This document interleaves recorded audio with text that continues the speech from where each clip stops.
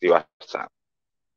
Halo, selamat pagi, selamat siang, selamat sore, selamat malam, di mana ibu bapak berada. Assalamualaikum warahmatullahi wabarakatuh. Shalom, berkah dalam. Om Swastiastu, Namo Buddhaya, salam kebajikan. Rahayu, rahayu, rahayu. Salam damai sejahtera buat kita semua. Ibu bapak dan rekan-rekan semuanya yang saya cinta, yang saya kasih. Sebelum dibuka, biasa kita kibarkan sang saka merah putih. Oke. Ibu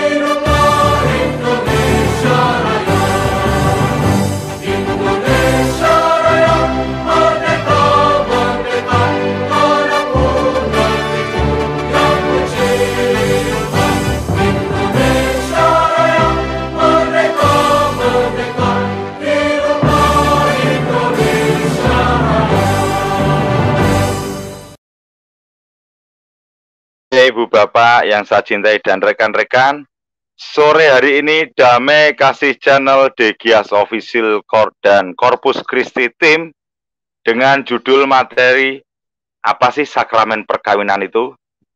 Kita dengan narasumber yang luar biasa, beliau Romo Sutras. Oke, saya naikkan beliaunya untuk memberikan materi di sore hari ini.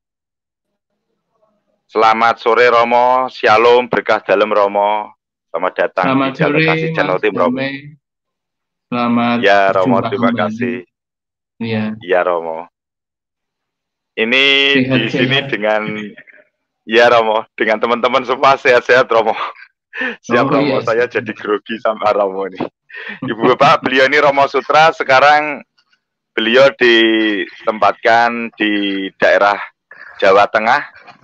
Beliau dulu pernah di paroki Jawa Tengah di kota Semarang. Beliau sekarang ada di Magelang. Monggo Romo kita mulaikan aja Romo, saya tampilkan share screen-nya biar Romo langsung membedah. Silakan Romo. baik. Bapak Ibu, saudara-saudari sekalian yang terkasih, saya diminta oleh Mas Damai untuk membahas bersama mengenai eh, perkawinan Katolik.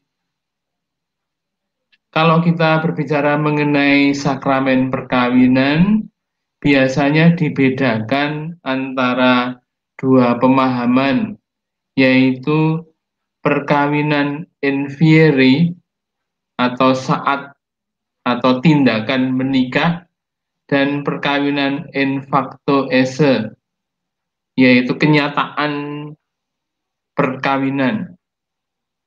Jadi eh, sakramen perkawinan itu bukan hanya pada saat menikah atau sebuah tindakan pernikahan, tetapi perkawin sakramen perkawinan itu adalah realitas perkawinan. Sehingga yang namanya sakramen perkawinan itu berlangsung seumur hidup karena realitas menikah itu berlangsung seumur hidup. Perkawinan gereja Katolik itu mempunyai dasar kitab suci yang sangat kuat. Yang pertama pasti mengacu pada kitab kejadian. Dalam kitab kejadian, kita membaca mengenai penciptaan semesta dan manusia itu menjadi puncak ciptaan. Yang menarik adalah bahwa manusia diciptakan menurut gambar dan rupa Allah. Diciptakan serupa dengan Allah. Gambar dan rupa itu kalau kita melihat sebuah gambar foto semakin menyerupai yang difoto, semakin bagus gambarnya. Maka manusia sebagai gambar dan rupa Allah semakin sempurna, eh, setidaknya mendekati kesempurnaan Allah, maka manusia itu semakin sempurna sebagai gambar dan rupa Allah. Kalau Allah maha baik, maka manusia harus baik, karena menjadi gambar dan rupa maha baik kok. Kalau Allah maha cinta, maka manusia itu harus penuh cinta dalam hidupnya. Karena dia adalah gambar dan rupa Allah. Dan itu menjadi kodrat kita. Kalau Allah itu maha eh, kasih, maha kuasa, maha semua sifat itu dalam kesempurnaan, manusia itu berada mendekati kesempurnaan itu yang menjadi kodrat. Lalu kitab kejadian juga me, menuliskan, menceritakan kepada kita bahwa Allah memberkati, memberkati, memberkati pria dan wanita itu dalam kitab kejadian bab 1 ayat 28 dituliskan Allah memberkati mereka memberkati laki-laki dan perempuan yang diciptakannya itu. Dalam konteks ini memberkati berarti menikahkan. Jadi bukan dalam pandangan Katolik itu bukan pria menikahi wanita atau wanita menikahi pria tetapi Tuhan Allah menikahkan. Tuhan Allah yang menikahkan. Lalu Tuhan bersabda, penuhilah bumi, taklukkanlah itu, berkuasalah atas ikan-ikan, laut, burung-burung di udara, dan atas segala binatang yang merayap di bumi. Kepada manusia diberi kuasa, mirip dengan Allah. Lalu kemudian beranak cuculah. Sebenarnya yang menciptakan manusia itu Allah, tetapi Allah memberi kuasa kepada manusia untuk beranak cucu. Artinya eh, laki-laki dan perempuan ciptaan Allah itu adalah teman kerja. Allah bisa saja menciptakan generasi baru, tetapi Allah menghendaki bahwa pria dan wanita yang diciptakan itu adalah teman kerja Allah dalam karya penciptaan. Meskipun Allah yang meskipun Allah bisa saja menciptakan tanpa campur tangan manusia, tetapi Allah menghendaki sejak semula bahwa pria dan wanita yang diciptakan itu adalah teman kerja Allah. Lalu kemudian di dalam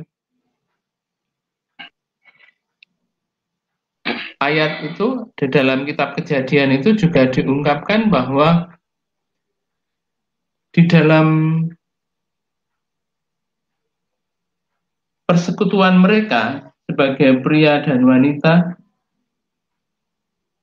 mereka itu saling menyerahkan diri secara utuh penuh dan itu terungkap di dalam uh, hubungan seksual yang merupakan ungkapan totalitas kesediaan untuk menyerahkan diri secara utuh dan penuh satu sama lain. Tadi yang saya katakan, Allah memberkati pria dan wanita sebagai kesatuan dua pribadi yang utuh dan menyeluruh. Lalu keutuhan itu nampak sebab itu dalam bab 2 ayat 24 Sebab itu seorang laki-laki akan meninggalkan ayahnya dan ibunya dan bersatu dengan istrinya sehingga keduanya menjadi satu daging.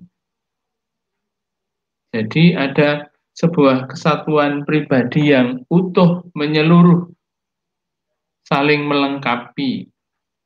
Itu dasar yang pertama dalam kitab Kejadian. Lalu dasar yang kedua itu bisa diambil dari kitab Nabi Hosea.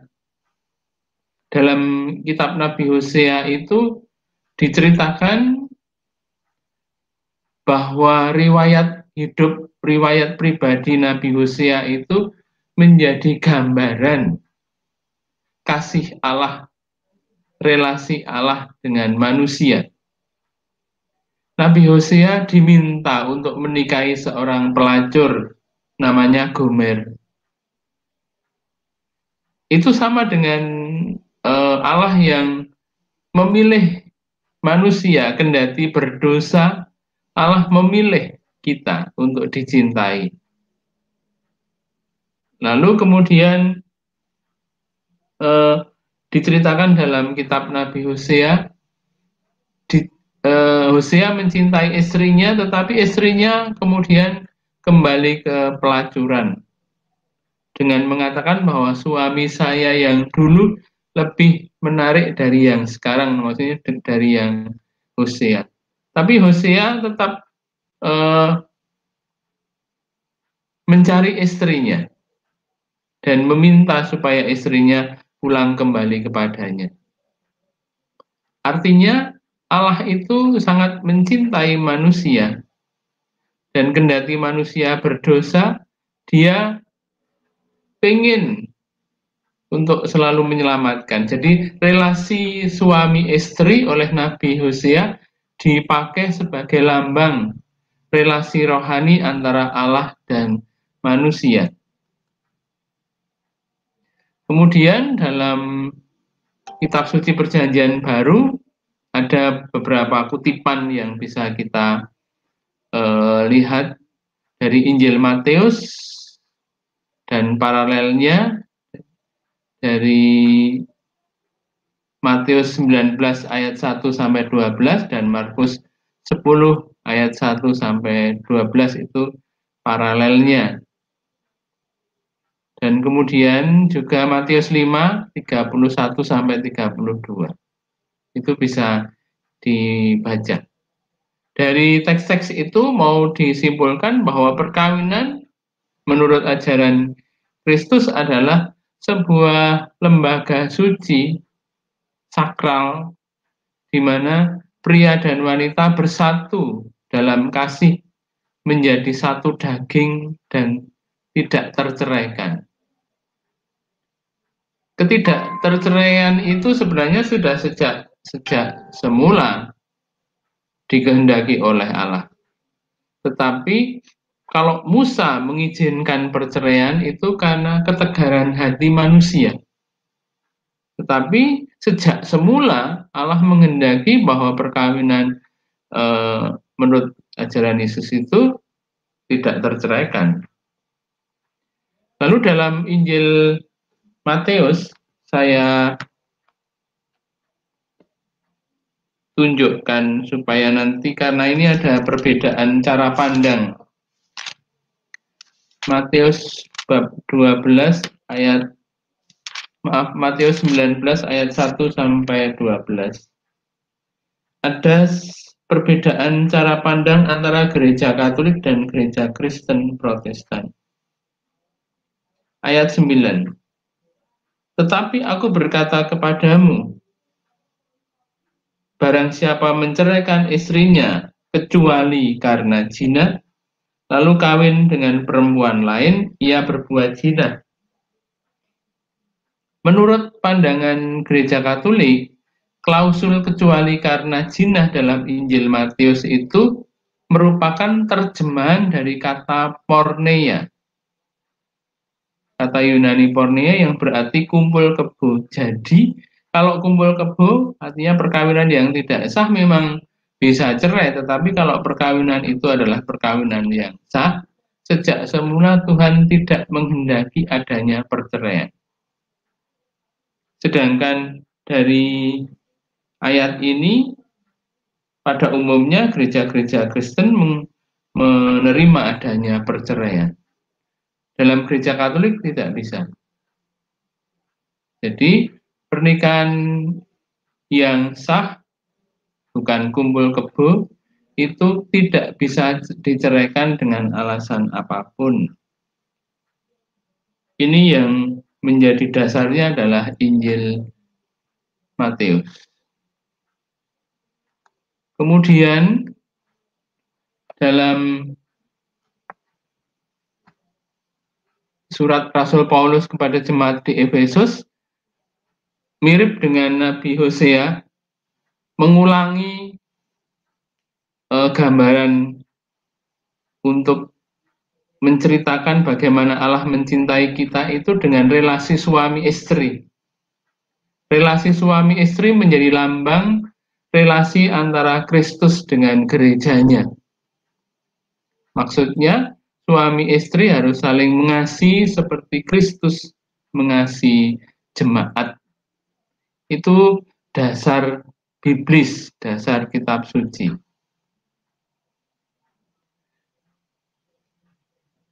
Itu saya kira dari sini apakah ada pertanyaan dulu mengenai dasar kitab suci dari sakramen perkawinan? Ya, Romo. Ya, kalau saya, secara pribadi sudah jelas mungkin dari Om Gia dan Pak Suto mungkin ada pertanyaan buat Romo dulu untuk kita sebagai tim nanti kita buka, buka ruang diskusi. Silakan Om Gia, Pak Suto. Mute-nya. Oke. Okay. Om Gia. Silakan. Ya, saya kira uh, nanti saja ya uh, saya bertanya ya. supaya Romo jelaskan saja dulu tidak apa-apa.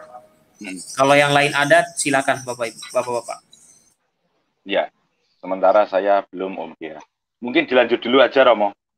Belum okay. belum ada pertanyaan masih jelas Romo. Silakan Romo. Ya. Lalu saya mengajar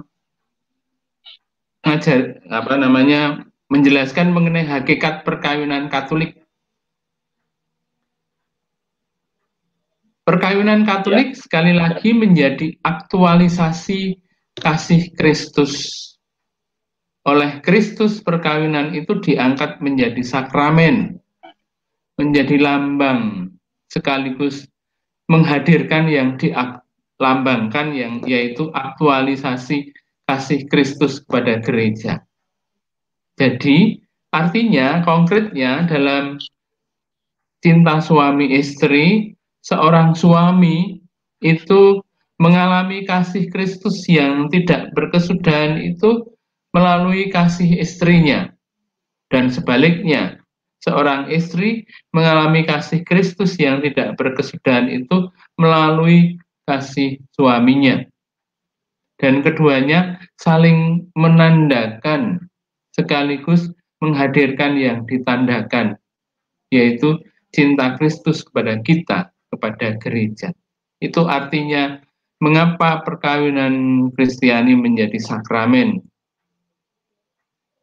Lalu, seperti yang saya sampaikan di awal, perkawinan itu bukan hanya sekedar kehendak manusia, tetapi merupakan karya Allah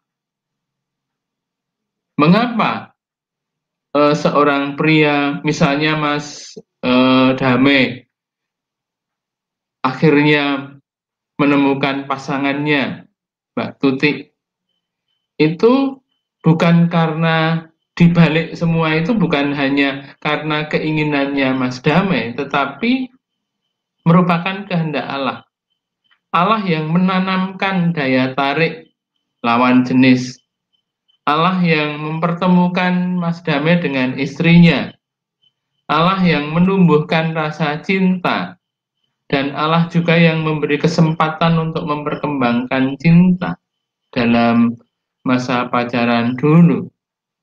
Jadi di balik keputusan untuk menikah itu ada karya Allah. Karya Allah yang Allah terlibat di dalam pengambilan keputusan itu. Lalu kesatuan pria dan wanita itu utuh dan menyeluruh. Lalu dalam bahasa Jawa, istri atau suami itu disebut garwo. Garwo itu dari kata sigaraning nyowo, bagian hidup yang tidak terpisahkan. Kalau istri atau suami meninggal, ya hidupnya nggak utuh lagi. Karena yang sesigar itu sudah nggak ada lagi. Karena itu bagian hidup yang tak terpisahkan. Yang disatukan apa? Ya keseluruhan hidup, misalnya eh, tubuh melalui hubungan seks, tempat tinggal, maka sebaiknya orang menikah itu harus eh, menjadi satu. Keluarga jarak jauh, long distance itu sebenarnya nggak ideal, tapi harus menjadi satu, satu serumah. Yang disatukan juga adalah harta, kekayaan sesudah menikah. Yang disatukan juga adalah pikiran, perasaan, kemauan, dan yang disatukan yang penting adalah juga iman dengan seluruh penghayatannya. Itu yang disatukan di dalam e, ikatan suami istri. Lalu tujuan perkawinan Kristiani adalah kebahagiaan suami istri saling menyempurnakan sekaligus juga kebahagiaan anak-anak terbuka terhadap kelahiran tidak hanya melahirkan anak tapi juga mendidik anak mendidik anak dalam iman dalam moral dalam kepribadian tidak hanya sekedar melahirkan ya Romo mau bertanya ini Romo uh, ya. ada rekan dari live chat beliau bertanya saudara Om Faithfully apa arti sakramen apa maksud Allah dengan memberikan sakramen kepada melalui gereja Katolik? Monggo Pak DKC, silakan Romo. Apa arti sakramen? Serta apa maksud Allah dengan memberikan sakramen kepada kepada atau melalui gereja Katolik? Silakan Romo. Oh iya. Ya, ini kan berarti uh, tidak semata-mata masuk ke topik sakramen perkawinan, tetapi saya menjelaskan yeah. bahwa sakramen itu pertama-tama adalah tanda sekaligus sarana yang menghadirkan yang ditandakan. Nanti di dalam sebenarnya sakramen pada umumnya itu, sakramen pada umumnya itu banyak sekali.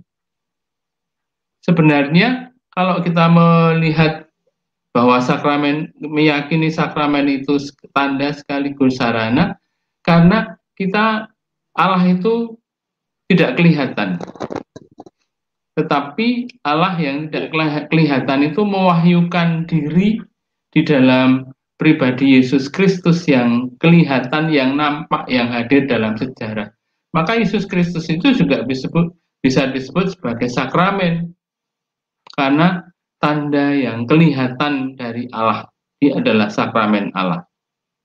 Lalu gereja itu juga sakramen karena gereja sebagai kumpulan orang-orang yang percaya kelihatan dan gereja bersama-sama mengungkapkan imannya kepada Allah dan mewujudkan imannya kepada Allah.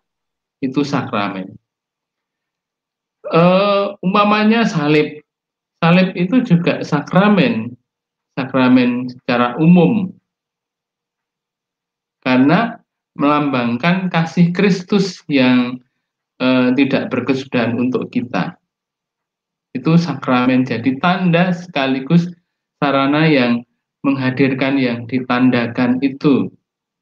Dan sakramen itu merupakan persembahan kepada Allah sekaligus pengudusan manusia. Kita dikuduskan dengan menerima sakramen itu dan Allah dimuliakan. Jadi karena Allah tidak kelihatan kita membutuhkan tanda-tanda yang kelihatan karena kita ini adalah makhluk simbolik, makhluk simbol. Kita membutuhkan simbol-simbol. Jadi sakramen tidak, sakramen itu di satu pihak simbol tetapi juga menghadirkan yang disimbolkan. Kurang lebih seperti itu. Lalu, mengapa sakramen itu secara teknis? Secara teknis itu sakramen berarti tujuh sakramen dalam gereja dan sakramen-sakramen ini didirikan oleh Yesus Kristus dan kemudian diperkembangkan dalam gereja. Itu, Mas. Ya, yeah. yeah, terima kasih Romo. Silakan dilanjut untuk presentasinya Romo. Monggo Romo.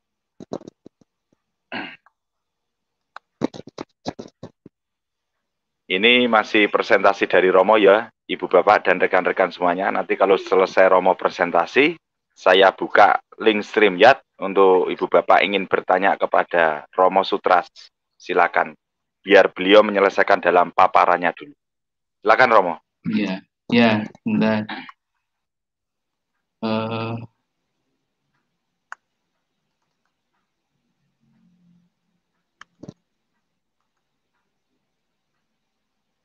Terima kasih semuanya Ibu Bapak yang sudah hadir di Damai Kasih Channel bersama tim.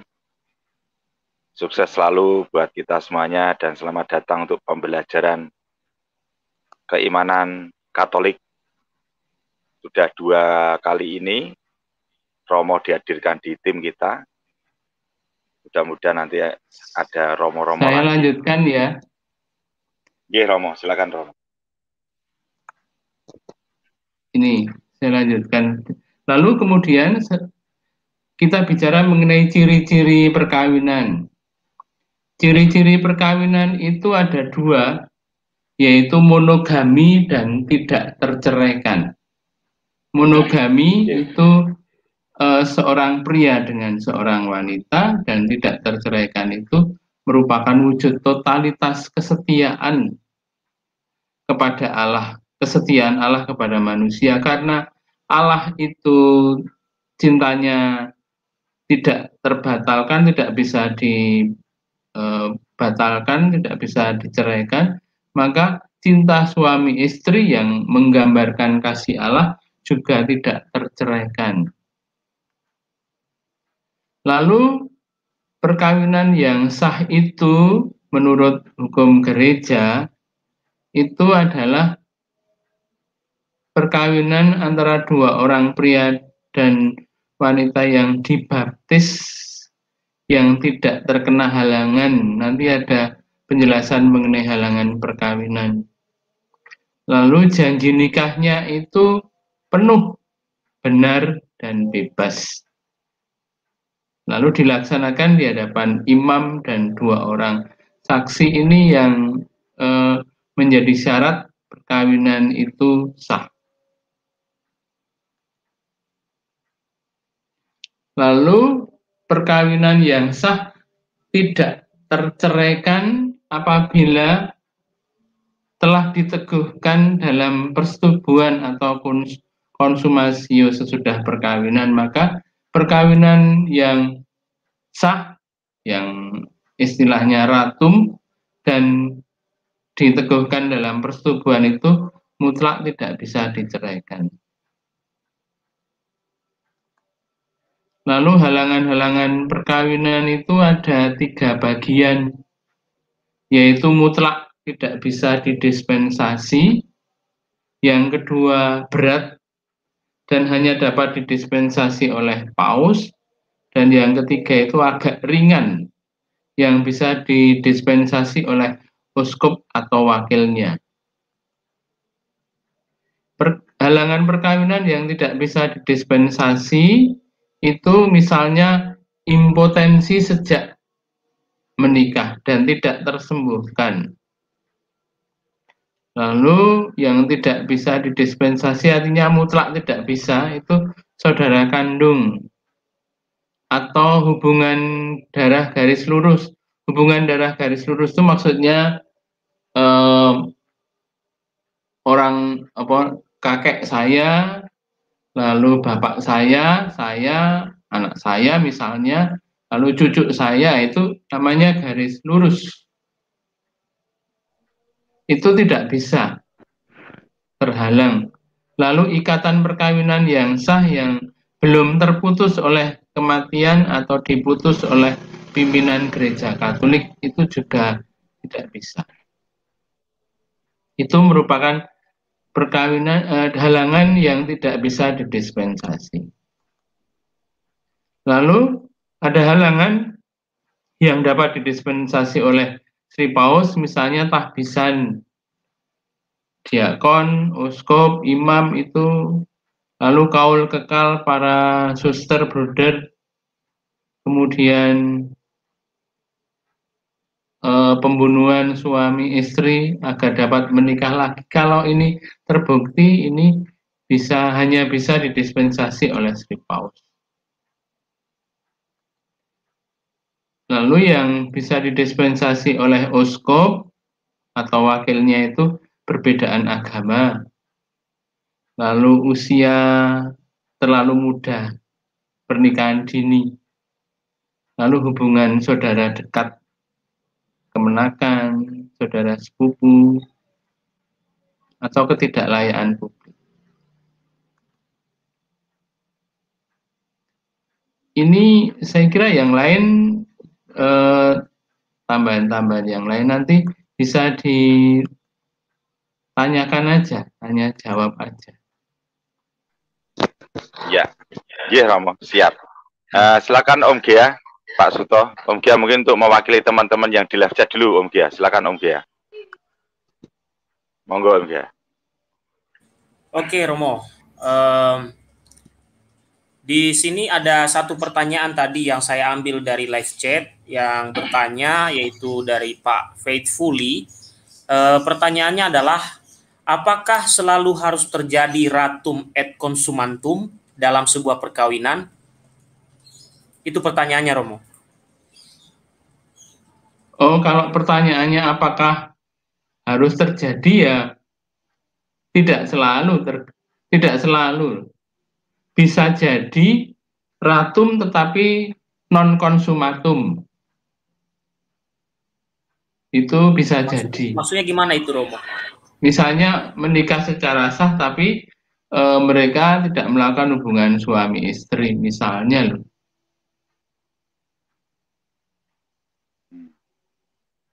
Oh. Tapi itu secara hukum e, gereja itu sah atau bagaimana Romo?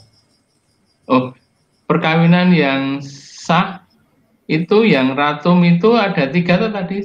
Yang pertama eh, tidak ada halangan, yang kedua disahkan oleh pejabat yang berwenang dan dua orang saksi. Lalu keputusan pribadi itu bebas tidak karena takut, tidak karena eh, hutang budi, tidak karena diancam, Nah, tiga itu kehendak bebas. Jadi itu yang menentukan keabsahan perkawinan. Jadi perkawinan tetap sah, cuman tidak di tidak diteguhkan di dalam persetubuhan itu bisa mungkin juga. Oke Romo, terima kasih. Uh, saya ada pertanyaan satu lagi Romo. Nah, tadi Romo kan menjelaskan dari uh, kitab suci itu kan kita bisa melihat bahwa memang sejak awal uh, Tuhan Allah itu menciptakan laki-laki dan perempuan itu tidak ada uh, berpasangan dengan laki-laki dan laki-laki, tidak ada berpasangan dengan perempuan dan perempuan, begitu. Uh, hmm. Ada dua pertanyaan saya, Romo. Pertama, uh, kita melihat saat ini gerakan-gerakan yang mendukung uh, homoseksual dan lesbian itu sangat gencar di belahan LGBT. dunia, bahkan mungkin di Indonesia, ya LGBT maksud saya, bahkan mungkin di Indonesia. Eh, pertanyaannya adalah bagaimana tanggapan gereja Katolik terhadap umatnya ya yang memiliki eh, penyimpangan seksual seperti itu. Nah, kemudian yang kedua Romo, dalam kitab suci itu kan kita melihat para nabi atau uh, tokoh-tokoh Alkitab ini ada yang bahkan bukan hanya poligami Romo, misalnya saja seperti Daud, Salomo, itu banyak sekali istrinya begitu kira-kira. Tapi kenapa ya ada orang yang bertanya kepada saya waktu itu Romo saya tidak bisa jawab. Uh, pertanyaannya seperti ini. Mengapa uh, mereka itu dimuat di dalam kitab suci kalau bukan diteladani? Apa gunanya? Begitu Romo, pertanyaannya Romo. Ya, saya jawab satu persatu ya. Pertanyaan pertama, ya. Hmm, pertanyaan pertama, bagaimana sikap gereja kalau ada umatnya yang eh, diketahui mengalami penyimpangan seksual? Yaitu tentu saja gereja prihatin dan tetap merangkul mereka. Cuman gereja tidak bisa menikahkan sejenis. Karena perkawinan gereja menurut hukum kanonik itu harus berlainan jenis antara seorang pria dan seorang wanita. Kalau itu menjadi ketentuan hukum, jadi di mana pun nggak bisa merestui perkawinan sejenis. Itu tidak mungkin, tidak dimungkinkan oleh kitab hukum kanonik. Tetapi eh, tetap gereja nggak mungkinlah mengucilkan orang-orang yang sedang mengalami kesulitan dalam uh, seksualitas mereka atau yang mengalami penyimpangan seksual. Itu yang pertama, jawaban yang pertama. Lalu jawaban yang kedua, sejarah manusia itu kan sejarah tidak semua tidak semua sejarah itu ideal dalam banyak hal tidak ideal. Tetapi itu mirip kita juga toh. Kita itu juga tidak ideal man sebagai manusia. Antara sisi baik dan sisi tidak baik saya kira mungkin malah banyak sisi tidak baik yang kita miliki. Itu saya kira eh, kita paham. Lalu Allah itu memilih kita yang lemah. Allah itu e, memahami kelemahan-kelemahan kita. Ya. Jadi memang tidak semua eh, tokoh-tokoh e, dalam kitab suci, terutama perjanjian lama itu sebagai orang yang sempurna, utuh, penuh.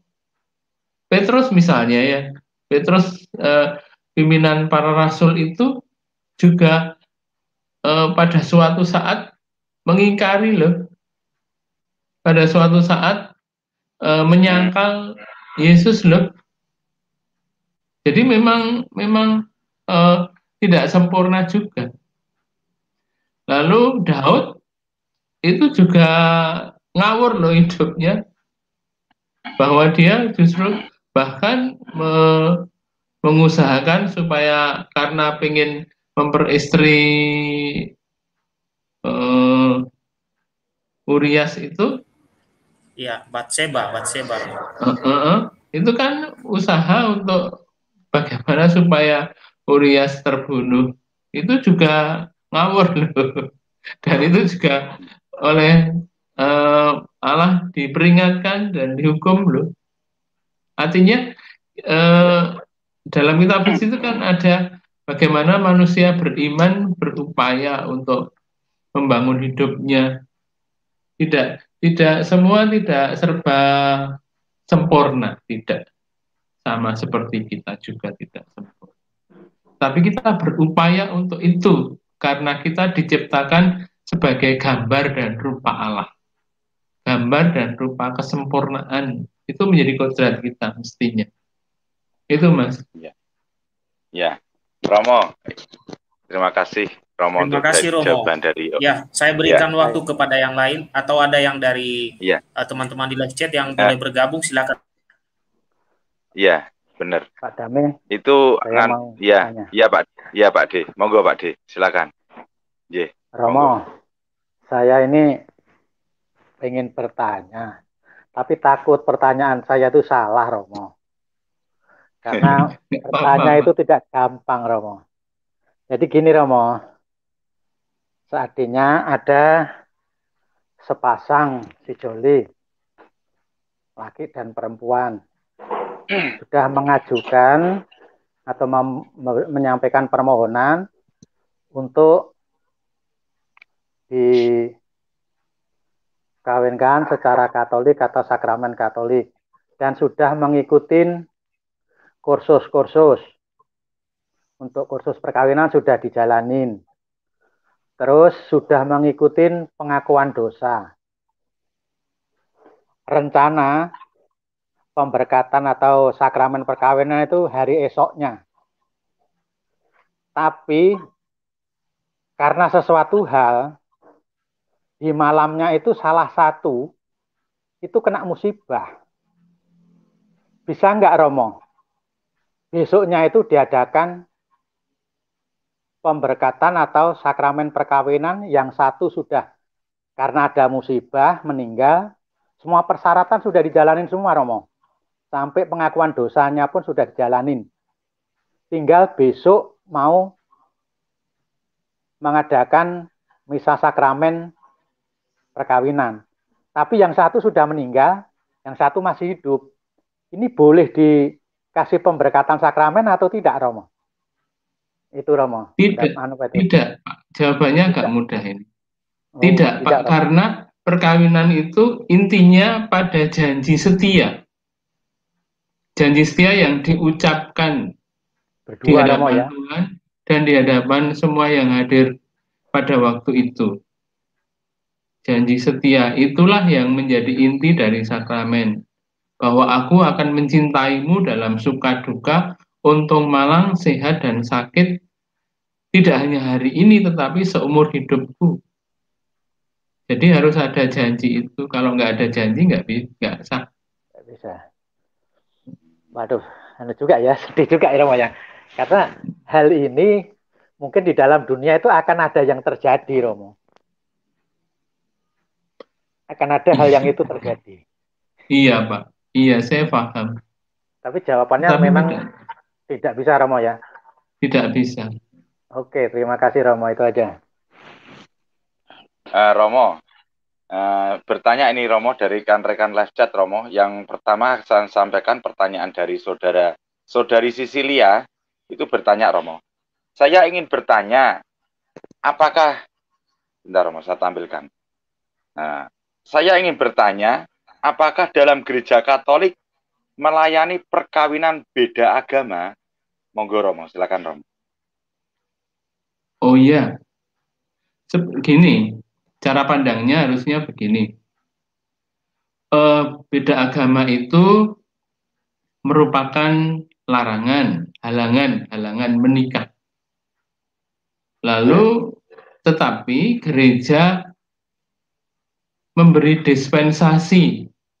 Gereja akan memberi dispensasi terhadap mereka yang menikah berbeda agama. Hmm asal ada janji dari pihak Katolik bahwa akan setia kepada imannya dan berusaha sekuat tenaga untuk mendidik anak-anaknya secara Katolik.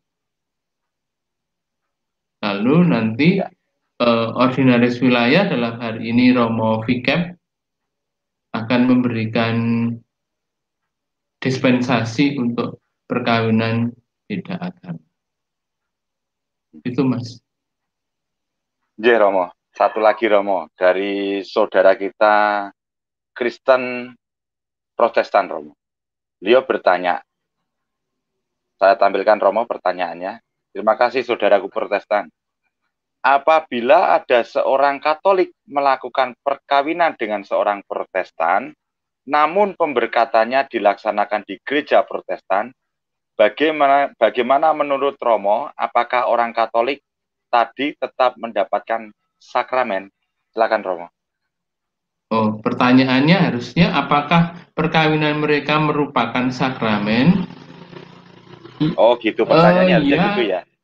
Iya. Sejauh ada kehadiran seorang imam dalam perkawinan itu yang disebut sebagai perkawinan ekumenis.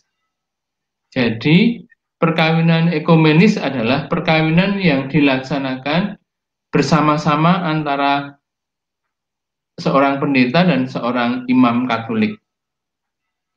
Maka hmm. Perkawinan ekumenis seperti itu yang dilakukan di mana pun, maksudnya di gereja Kristen ya bisa, di gereja Katolik ya bisa. Itu bisa menjadi sakramen. Bahkan dalam hukum kanonik itu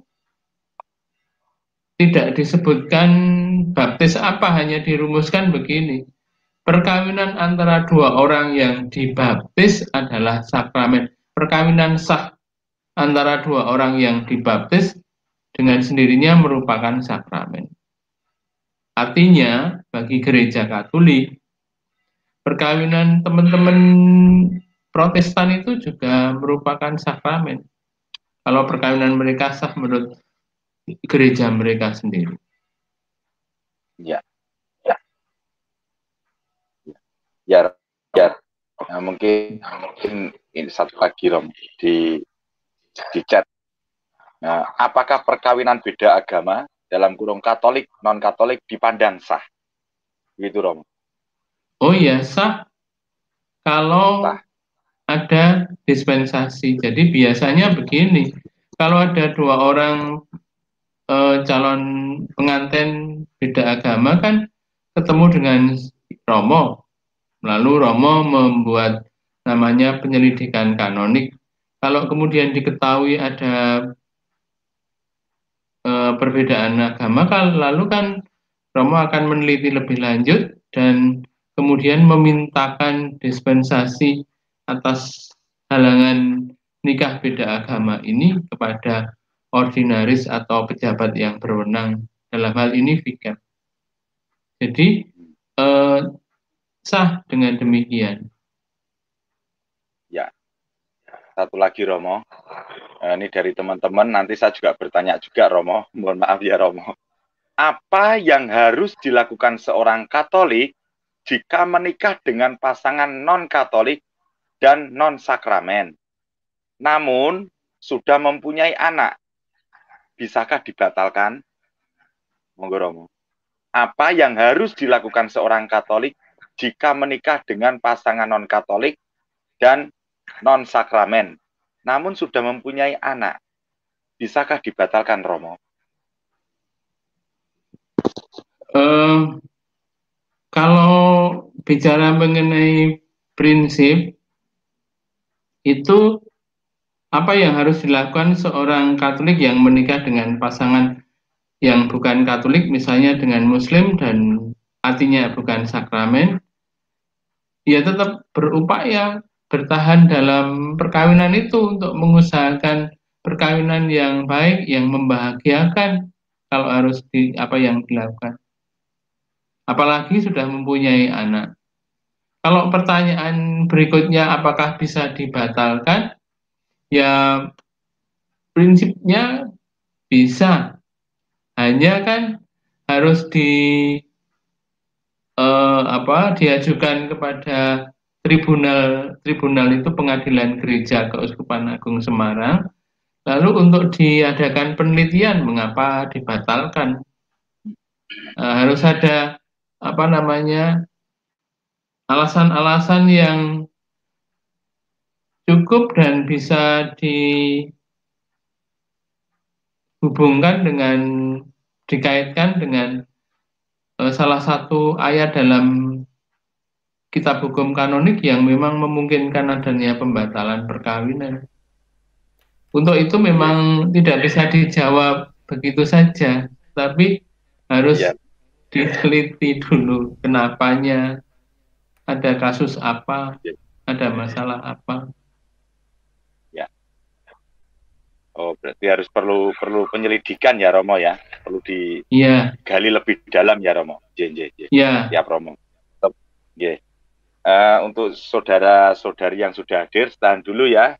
Kita juga ingin bertanya dengan Romo ini.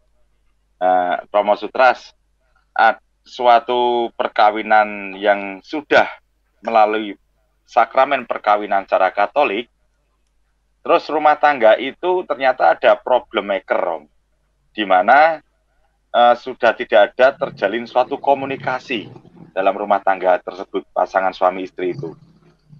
Tetapi masih satu rumah dan eh, salah satu sal- eh, salah salah seorang pasutri itu mempunyai pasangan lagi. Itu apakah bisa dia melakukan suatu apa yang menyampaikannya ya Eh, melakukan talak Romo bukan cerai talak istilahnya. Pembatalan, pembatalan Misalnya mungkin pada Maya. Ah, ah, ya Pembatalan pernikahan itu? gitu. Padahal dia Perkawinan. Ah, ah, ah, ah, betul. Bisa nggak Romo itu? Sudah rumah tangga itu sudah tidak harmonis Romo. Dan salah seorang itu sudah punya pasangan. Apakah itu bisa dilakukan pembatalan pernikahan Romo? Dan orang yang satu orang itu mau nikah lagi apakah bisa menerima sakramen perkawinan lagi Romo mohon maaf Romo pertanyaan saya Romo silakan Romo Iya, iya Mas.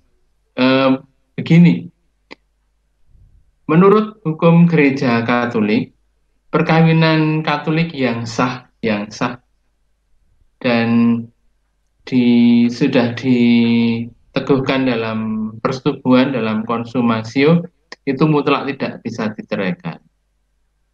Hmm. Tetapi kan ada sebuah lembaga yang disebut tribunal gereja. Ya. Lalu tribunal gereja itu ketika ada eh, masalah seperti itu dan mengaju dan mereka mengajukan kepada tribunal itu akan meneliti apakah keabsahan perkawinan yang dulu diandaikan itu memang terjadi. Misalnya, misalnya gampangannya, gampangannya untuk memudahkan membayangkan.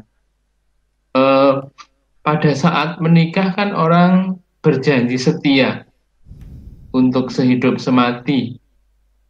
Diandaikan apa yang diucapkan itu ada dalam hatinya, merupakan ungkapan hatinya. Tetapi ternyata dari penelitian misalnya dari penelitian tribunal diketahui dan ada bukti dan ada saksi bahwa sejak sebelum menikah itu sudah tidak setia, selingkuh misalnya, sudah sejak belum menikah menjalin pacaran dengan orang lain juga. Kemudian sesudah menikah juga tetap seperti itu, ketidaksetiaan itu berlangsung terus-menerus. Artinya janji setia yang diucapkan di hadapan Allah di hadapan imam, di hadapan saksi itu kan pura-pura. Namanya simulasi. Nah, kalau itu apa? Kalau itu diketahui dan ada bukti dan ada saksi bahwa janji itu pura-pura simulasi, maka bisa dibatalkan. Tapi untuk itu perlu proses memang. Dan eh, juga butuh waktu yang panjang. Tetapi Anu, Romo, itu yang ke- gambarannya. Eh, sebentar Romo, saya mau izin Romo, saya potong. Tetapi pasangan itu yang salah satunya dapat pasangan lagi dan punya anak Romo. Bagaimana Romo?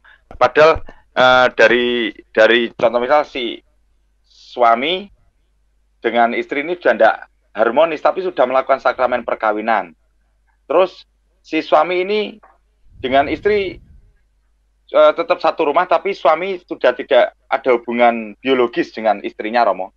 Dan suami ini punya pasangan lagi, punya pasangan lagi dan punya anak. Dan ini bersikeke ingin melakukan pembatalan pernikahan dan ingin melakukan sakramen perkawinan lagi dengan pasangannya yang baru itu Romo. Ini soal kira-kira bagaimana Romo ini? Agak pelik kalau ya Romo. Ini. seperti itu, kalau seperti itu jawabannya eh, coba diajukan ke tribunal, nanti tribunal akan meneliti meneliti mengenai kasus perkawinan itu. Membuat sebuah kronologi menceritakan Hmm. tentang eh, relasi mereka sejak sebelum menikah, relasi menik mereka menjelang perkawinan, relasi mereka sesudah menikah, lalu kemudian menceritakan relasi mereka sampai hari ini, sampai saat ini. Dengan data-data, dengan saksi yang bisa dihubungi, yang bisa dimintai konfirmasi atas cerita itu, lalu nanti akan diadakan penelitian yang lebih mendalam seksama. Sebenarnya itu Ya, berat. Berat. yang paling bisa saya jawab itu karena kalau tidak mengerti problemnya secara detail saya nggak bisa menjawab. Ya Romo, terima kasih Romo. Jadi ini memang kebetulan Ibu Bapak dan rekan-rekan semuanya, Romo Sutras ini di Keuskupan Agung Semarang juga menangani di bidang perkawinan. Luar biasa, pas tepat dengan thumbnail judulnya pada sore hari ini. Eh, mungkin sudah ada tamu Romo ini sudah ada hadir. Adikku Ciput, Shalom Berkah Dalam, dan Pak Harpa, Shalom Berkah Dalam di Damai Kasih Channel Team. Selamat Halo. sore semuanya. Selamat sore. Ya, Shalom. Pak selamat Damai. sore, Shalom, Pak Damai dan Romo. Ya. Romo Sutras. Shalom Ya. Salam Pak Yo. Sutowijoyo. berkah dalam. Salam Bu Ciput. Berkah dalam juga Romo, Iya, Pak Harpa dalam. juga Shalom. Iya, Shalom. Oke, Siapa dulu nih, silakan Pak Ciput. Oh, Mbak Ya. Ciput Terima dulu, Pak. Arpa, Ciput dulu. Iya, iya. Oh, baiklah. Mm-mm. Shalom Romo, salam kenal dari Paroki Pangkal Pinang Romo, Oh Tepatnya iya. saya di Batam. Iya Oh. Romo. Begini Romo, terima kasih udah kenal Romo. Saya ingin bertanya Romo. Kebetulan saya ada pernah lihat kasus. Ceritanya gini Romo. Kan ini pernikahan awalnya mereka dari Protestan ya Romo ya. Eh, jadi suatu ketika ada permasalahan hanya usia pernikahan dua bulan dan perempuan ini meninggalkan pasangannya yang laki-laki dan hampir sudah dikatakan 10 tahun Romo lamanya. Dan ternyata perempuan ini sudah diam-diam menikah di kampung halamannya gitu Romo sama yang lain. Nah, mereka memang kan hanya mendapatkan catatan dari gereja pemberkatan itu, sertifikatnya. Kalau untuk di catatan sipil atau akte pernikahan mereka belum ada, Romo. Nah, kan itu belum terjadi eh, perceraian ya begitu ya Romo ya. Karena kita tahu kan di Kristen Katolik ataupun Kristen Protestan tidak dibenarkan adanya terjadi perceraian begitu ya Romo ya. Nah, jadi yang saya ingin tanyakan Romo, kalaulah hendaknya nanti si pria ini akan menikah dan dia mungkin akan mau masuk agama Katolik untuk mendapatkan pemberkatan sakramen pernikahan tadi Romo. Itu apakah itu diizinkan atau bagaimana Romo? Karena kalau setahu saya di Kristen Protestan kalau sudah ada itu misalnya pernikahan sebelumnya dan belum terjadi perceraian, kalau ketika pasangan itu atau salah satu di antaranya ingin menikah lagi dan mendapatkan pemberkatan di gereja, itu bisa terjadi pembatalan begitu Romo. Kalau di Katolik bagaimana Romo? Terima kasih Romo. Dalam gereja Katolik juga ada kemungkinan pembatalan. Jadi dalam kasus yang Ibu sampaikan, itu kan perkawinan mereka baru dua bulan. Baru dua bulan menikah, lalu kemudian pergi, salah satu pergi meninggalkan sampai bahkan 10 tahun. Artinya, eh, janji setia yang dulu dikatakan bahwa akan setia dalam untung malang suka duka seumur hidup itu kan tidak terpenuhi dalam arti eh, pasti ada sa- satu hal yang menyebabkan bisa dianggap sebagai kepura-puraan. Tidak mungkinlah orang yang sungguh-sungguh serius dalam hidupnya berjanji untuk setia seumur hidup kok baru dua bulan sudah pergi dan bahkan kemudian menikah dengan pria lain itu kan pasti ada sesuatu eh, hal yang serius yang menunjukkan bahwa dia tidak setia Eh, maaf dia tidak apa janjinya yang dulu tidak akan tidak sungguh-sungguh dari hati yang paling dalam. Jadi memang ada kemungkinan ada indikasi kalau saya melihat sepintas, tetapi perlu harus diteliti kenapa baru dua bulan sudah meninggalkan meninggalkan keluarga, meninggalkan suaminya, ada apa? Apakah dulu dia terpaksa? Apakah ada alasan lain yang serius? Nggak mungkin lah kalau semua berjalan lancar kok dua bulan sudah pergi. Lah itu yang eh, titik itu yang harus perlu digali secara mendalam. Kalau nanti diajukan ke tribunal dan tribunal sesudah mengadakan penelitian secara mendalam e, menemukan hal-hal yang bisa dipakai untuk alasan pembatalan ya nanti kalau misalnya tribunal membatalkan ya bisa menikah biasa itu jadi butuh proses anulasi yang dibuat oleh Tribunal Keuskupan di Pangkal Pinang. Saya kenal di, di Pangkal Pinang ya, Bu ya. Iya, Romo, iya. Di Pangkal Pinang itu ada Romo Beni Balun itu yang Iya. yang apa? eh, mengurusi Iya, Romo. Saya tepatnya di Batam, Romo. Domisilinya, Oh, di Romo. Batam. Iya, tapi di bawah naungan paroki kita Pangkal Pinang, Romo. Iya, iya.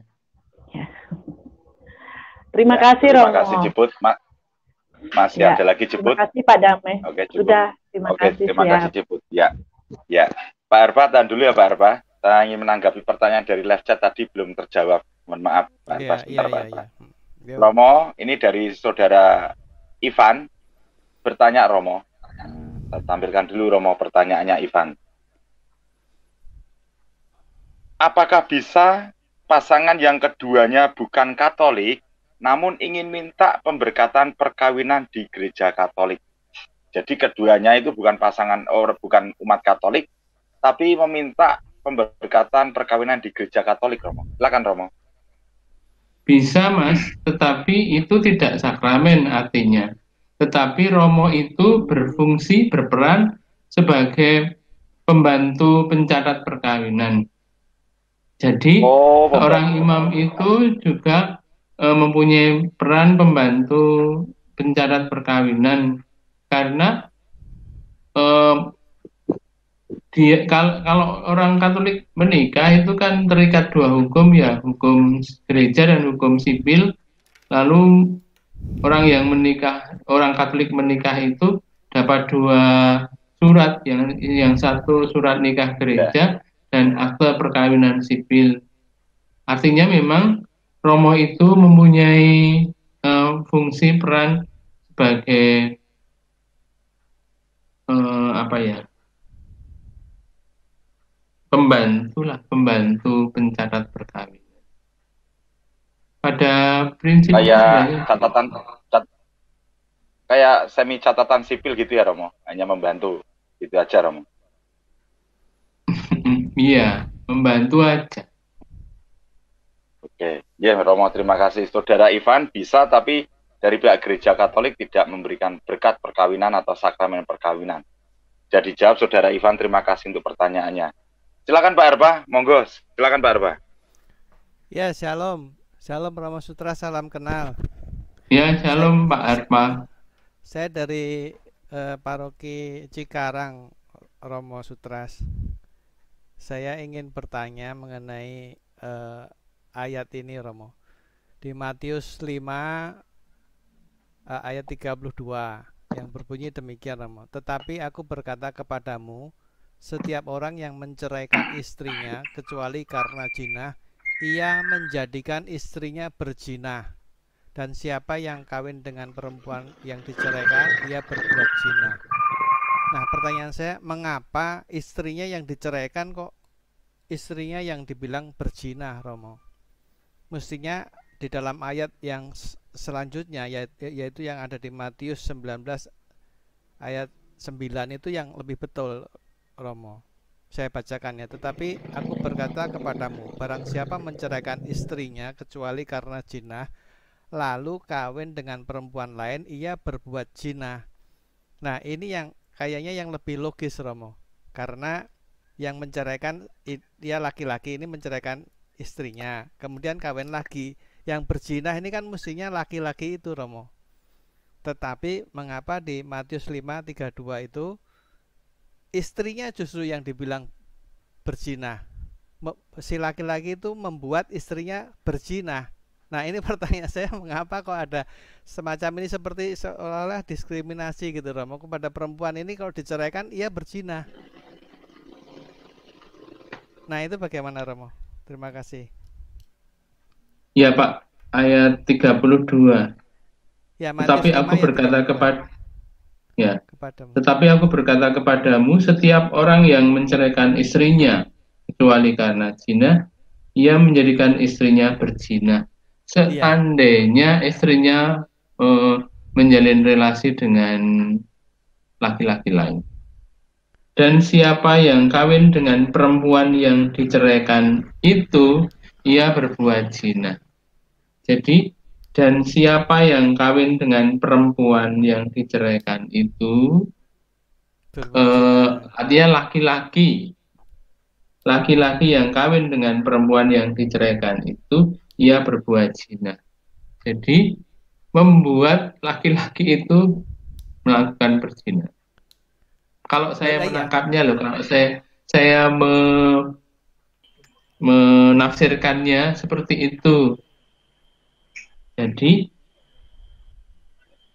uh, istri itu membuat laki-laki yang yang uh, apa yang menikah itu menjadi berbuat zina. Misalnya, misalnya, ya, ya. ini hanya contoh supaya gampang. Pak Dame eh, menceraikan istrinya. Ya. Lah, kemudian siapa pun, laki-laki siapa pun yang kemudian eh, menjalin relasi dengan mantan istrinya Pak Damai itu berbuat zina. Termasuk istrinya juga berbuat zina kan? Iya. Kalau diceraikan dan diam aja ya tidak saya kira. Jadi kalau dalam hal ini memang kalau uh, sang istri tadi diceraikan kemudian dia kawin lagi baru dia berzina kan? Mm -mm, ya, gitu. seandainya dia tidak tidak kawin lagi kan dia tidak berbuat zina. Iya Pak, lah itu kan nganu apa jadi satu, jadi satu ke, ke apa dari satu pengertian. Oh. Ia menjadikan iya, iya. istrinya berzina dan barang iya. siapa yeah. yang nikah dengan perempuan yang diceraikan itu berbuat zina. Dua-duanya. Jadi yang mau dikatakan adalah baik istrinya yang dulu diceraikan dengan laki-laki yang menikahi dia itu ya berbuat zina kedua-duanya. Maksudnya begitu.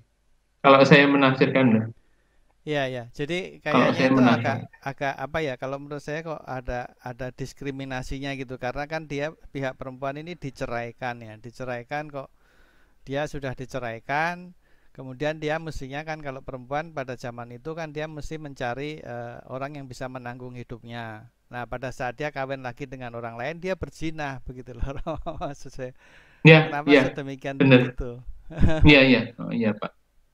Benar. Lalu uh, gini Bromo, ada nggak uh, satu apa namanya ya uh, dispensasi waktu gitu loh. Setelah orang itu ber, bercerai, mungkin pada saat dia memutuskan untuk bercerai, ada kemungkinan lelaki atau perempuan ini karena ada uh, pihak lain, pihak ketiga, bisa jadi seperti itu.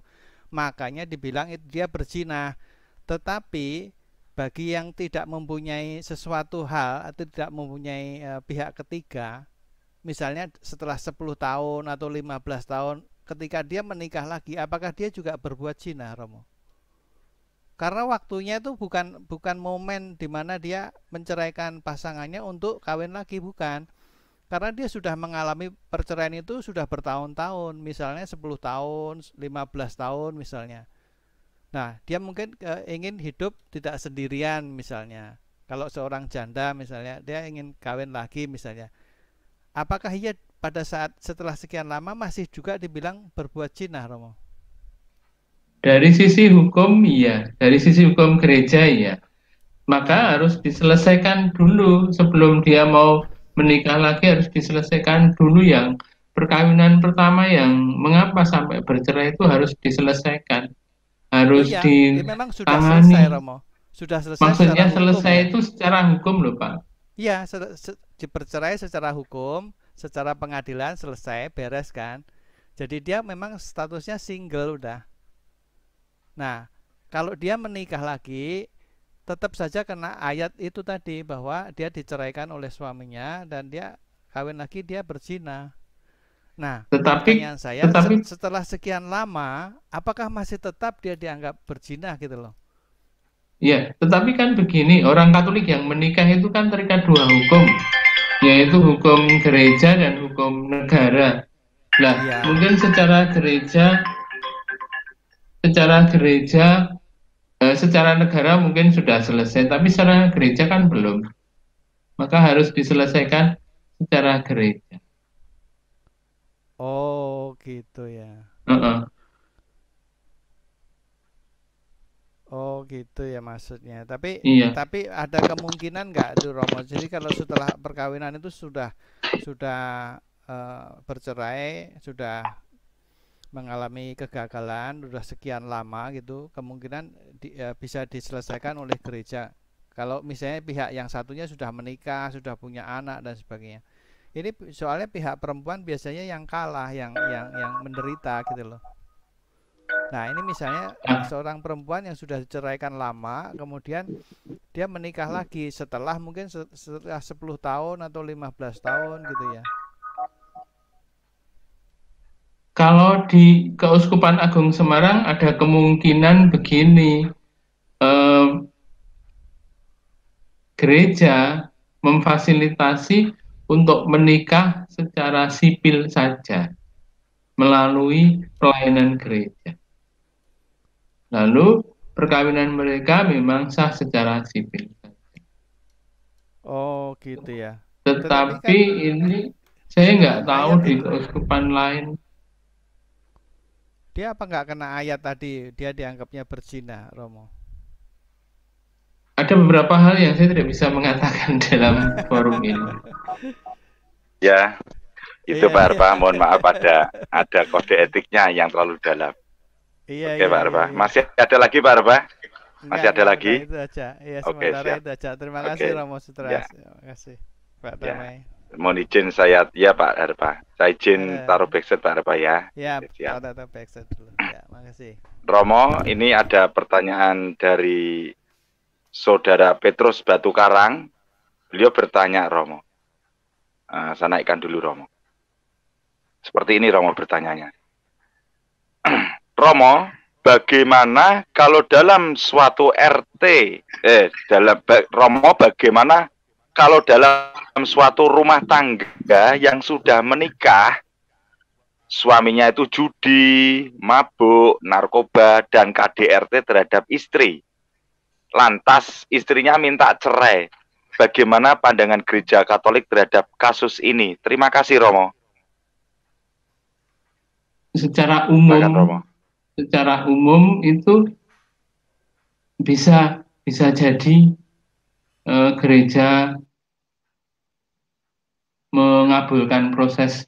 Tetapi sekali lagi tetap harus melalui proses pengadilan gereja yang namanya tribunal. Istri itu bisa mengajukan permohonan kepada tribunal keuskupan agung jadi eh, apa ya bisa kemungkinan mengajukan permohonan ke tribunal selalu ada kemungkinan nanti biar tribunal yang meneliti apakah perkawinan itu bisa dibatalkan atau tidak sesuai dengan ketentuan hukum gereja. Hmm. Oh iya. Ya, terima kasih Romo. Saudara Batu Karang sudah dijawab oleh Romo Sutras. Om Gia silakan Om Gia. Monggo Om Gia. Jangan ngopi melulu Om Gia. Nggak dikasih kopi ini aku sama Romo Sutras ini. Om Gia. Om Gia. Saya mohon maaf Romo, karena saya hanya menyedia, menyediakan kopi sendiri ini. Oke. okay.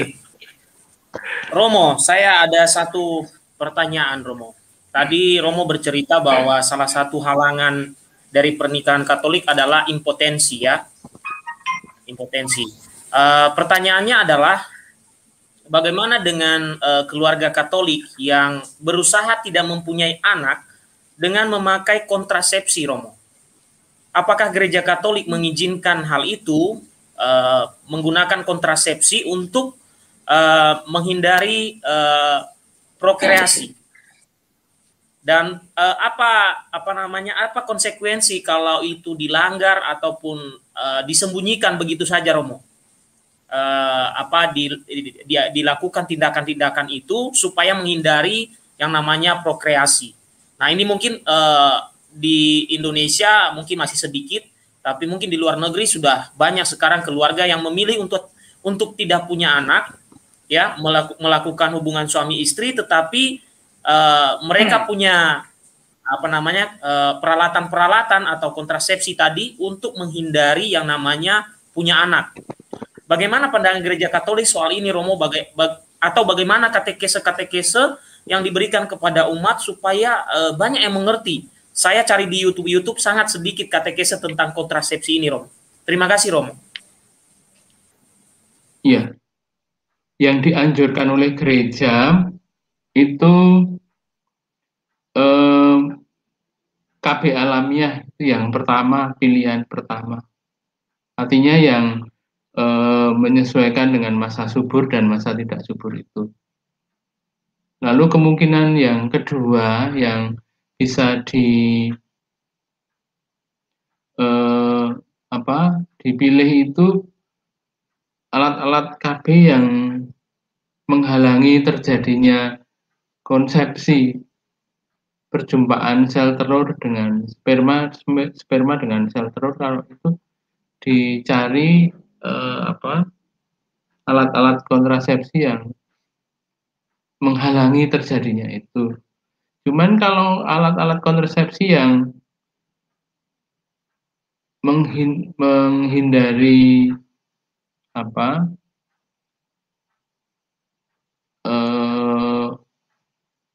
pembuahan itu dan kemudian apa pembuahan itu sudah terjadi dan pembuahan itu harusnya hmm. menempel di dinding rahim dan kemudian digugurkan itu ya nggak boleh.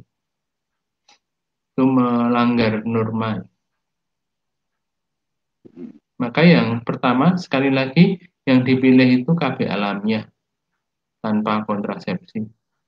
Yang kedua itu kalau mau toh memilih kontrasepsi yang anu yang tidak yang menghalangi pembuahan sebelum pembuahan kalau kemudian telah terjadi pembuahan dan menghalangi menempelnya dalam dinding rahim itu dianggap oleh gereja sebagai pengguguran ini mas. Yeah. Yeah itu yang tidak boleh ya. sama dengan pembunuhan. Ya. Ya. Ya, Romo. Dicarikan macam-macam kayak ya, banyak. Ya. Sudah terjawab Om Gia. Mute-nya ya. Om Jani. Iya. Nah, gitu. uh, jelas Romo. Uh, mungkin sinyal saya karena terputus-putus suaranya Romo tadi, tapi saya uh, saya mendengarkan apa yang disampaikan Romo. Eh, kemudian ada pertanyaan lain Romo yang eh, mungkin anak muda, eh, orang muda Katolik, termasuk saya orang muda Romo, tapi memang kelihatannya tua. Tapi tidak apa-apa lah. Jadi Pak Damai lebih tahu. Eh, jadi gini Romo, orang muda saat ini kan eh, mereka eh, kesulitan ya. Saya kurang tahu dalam tanda petik atau bagaimana ini banyak orang muda juga yang karena saya juga cukup aktif di OMK Romo, tapi untuk saat ini di pandemi ini tidak aktif. Eh, banyak anak muda yang apa namanya menemukan jadi ada ada yang curhat ini ceritanya Romo. Susah, susah sekali menemukan pasangan yang seiman. Lalu mereka eh, ketika bertemu yang beda iman em, ada apa namanya iman itu mudah sekali untuk dilepas begitu kira-kira Romo mudah sekali untuk dilepas sehingga eh, mereka mau menikah lalu eh, apa namanya apa meletakkan iman mereka atau membuang iman mereka yang semula. Nah eh, bagaimana upaya kita ini Romo? Eh, gereja Katolik ini saya eh, mungkin belum saya tahu tapi mungkin ada. Bagaimana upaya gereja untuk um, memperkenalkan tentang uh, apa namanya begitu kompleksnya uh, pernikahan Katolik ini dan tidak seperti pandangan yang di luar Katolik. Uh, bukan seolah-olah membandingkan, tetapi untuk menunjukkan kepada anak muda bahwa perkawinan Katolik itu ada konsekuensinya. Kalau kita melanggar, kalau kita mengikuti juga ada konsekuensinya. Eh, apa upaya-upaya yang bisa dilakukan Romo untuk menjelaskan itu konsekuensi kalau kita eh, melanggar tidak mengikuti prosedur untuk pernikahan Katolik atau eh, ketika kita mengikuti prosedur itu Romo. Terima kasih Romo. Ya sebenarnya begini Mas, kalau gereja Katolik itu tidak menambah, tidak mengurangi apa yang menjadi kehendak Allah. Karena sejak semula, sejak semula perkawinan itu em, tidak bisa diceraikan. Kita tahu dari kitab suci. Lalu gereja itu mengawal itu, mengawal kehendak Allah itu. Lalu saya yakin ketika orang menjadi pelaksana kehendak Allah pasti hidupnya akan damai, tentrem. Kalau dia melanggar ya akan apa ya mengalami ketidaktentraman juga. Lalu kemudian yang dibuat oleh gereja itu eh, memang belum begitu banyak tapi ada eh, kelompok-kelompok jomblo Katolik yang eh, setiap kali ada pertemuan-pertemuan barangkali dengan banyak perjumpaan itu eh, ada kemungkinan mendapat jodoh dalam kelompok jomblo Katolik itu. Lalu kemudian juga dalam majalah itu ada kontak jodoh. Ada kemungkinan itu juga. Dan eh, saya kira juga memang ini masih belum diperkembangkan lebih lebih luas, lebih mendalam, lebih banyak. Itu yang yang menurut iman saya perlu penanganan lebih serius. Lalu Mas Gia mungkin juga punya ide-ide tertentu untuk apa ya menolong banyak teman-teman UMK yang memang kesulitan untuk mendapatkan jodoh itu, jodoh yang seiman itu. Mungkin Mas Gia malah saya itu malah bertanya mungkin ada gagasan enggak ya?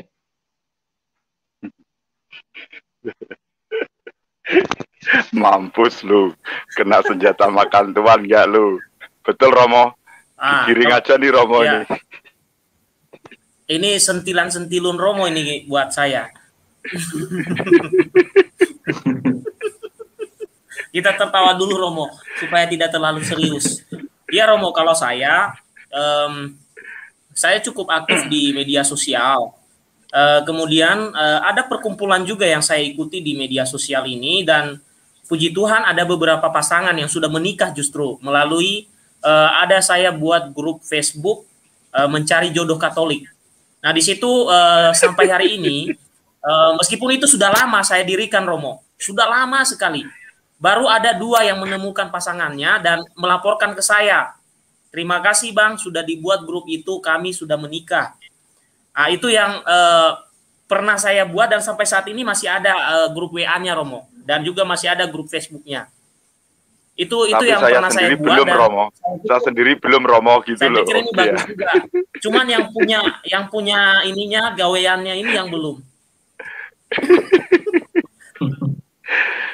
Jadi Om Gea ini Itu Romo, guru kira-kira, Romo. agama, guru agama plus katekis Romo. Beliau ini Romo. Ambil S2 ini Romo, hampir mau kelar S2-nya Romo. Mau jadi Romo gagal Romo, akhirnya jadi Romo gadungan ini Om Gea Romo. Tapi itu kalau bisa diperluas jaringannya, Mas. Kalau bisa diperluas jaringannya. Ah, tadi kita diskusi ini Romo, saya bagikan ke teman-teman yang di grup itu Romo. Eh, eh, kemarin sempat ditanya ke saya Romo, "Eh, Bang, kita mau berbuat apa ini supaya kita mengerti tentang pernikahan Katolik? Dan mudah-mudahan beliau-beliau yang ada di grup itu sudah ikut di sini Romo. Makanya saya senang sekali eh, ketika Romo menjabarkan eh, tentang pernikahan ini karena eh, jarang sekali ada katekese seperti ini Romo untuk apa namanya supaya pandangan anak muda itu kan eh, tidak sama dengan yang di luar sana begitu Romo kira-kira karena di luar sana kan eh, berbeda misalnya soal aborsi lah soal hubungan di luar nikah atau soal eh, prokreasi dan lain-lain itu kan sangat berbeda nah sementara anak muda kita ini banyak dipengaruhi oleh pengajaran yang di luar justru bukan yang di Katolik. Ah, yang saya lihat di eh, pembicaraan teman-teman di grup ini. Jadi kemarin saya ditanya seperti itu, saya bilang, wah ini tepat nih hari ini nih ada nih Romo eh, Sutrasno menjelaskan tentang ini. Eh, saya kira penting sekali dan saya tadi bagikan. Mudah-mudahan mereka menonton Romo dan melihat saya di sini. Oh ternyata yang punya grup ada di eh, pembahasan tentang perkawinan ini. Ya, saya kembalikan Ya. kepada Mai. Mungkin ada pertanyaan yang lain dari teman-teman yang lain atau ada yang disampaikan Ya. selain ini. Silakan Oke. Pak. Sampai jam berapa ini kira-kira ya? Eh, eh, dua jam aja Romo, kita dua jam aja Romo. Kita dua jam saja. Nah, Ibu Bapak yang saya cintai, yang saya kasih, ini hari ini kita maksimalkan dua jam. Kalau masih ada pertanyaan silakan. Kalau pertanyaan di live chat kita tanggapi juga. Silakan adikku Ciput. Ya, Silakan Ciput. terima kasih pada Mai Kasih dan Romo Sutrasno.